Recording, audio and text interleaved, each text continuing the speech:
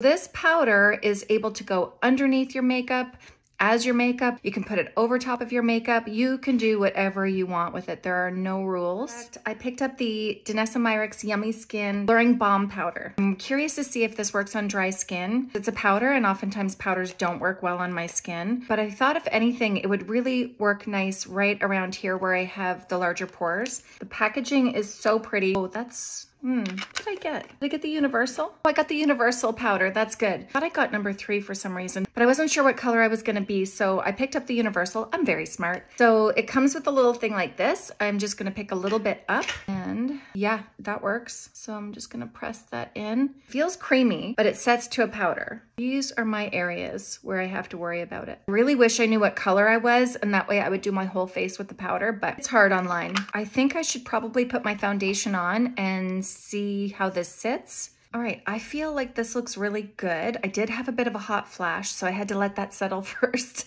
And through the hot flash and everything, I think my pores look really good. I'm actually gonna do a little wear test with this and see how it looks in a couple of hours. So I will be back and I will show you the finished result. All right, I have to say, I definitely feel like this blur powder is really, really pretty. I'm not sure if I'm imagining things though. I feel like it's blurred and it's not shiny, but it's also not dull. So let me know what you guys think. I'm gonna continue using this and experimenting with different foundations. I hope this helps and I will see you later. Bye.